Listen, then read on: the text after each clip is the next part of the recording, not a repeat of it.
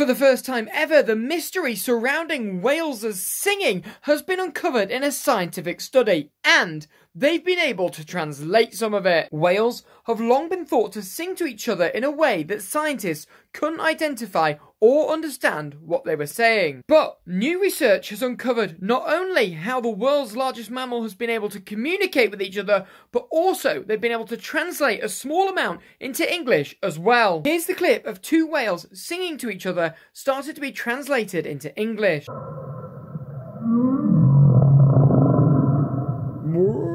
Listen, Tina, I said to him, I said, if you're going to sleep around, at least have the decency to wipe off her barnacles before you come swimming back to me. Yeah, yeah, I know. He thinks I don't know what's going on in the Pacific Ocean, for Christ's sake. He knows my uncle's mate works there. It's going to get back to me. Anyway, as I was saying, our plan to get the humans to fill the oceans with plastic so we can rebuild our mothership has hit some hiccups. We're going to have to delay the plans till they stop caring about the ocean. Also, I've heard some orcas are off to fuck up a couple of yachts off the coast of Spain. You want to join?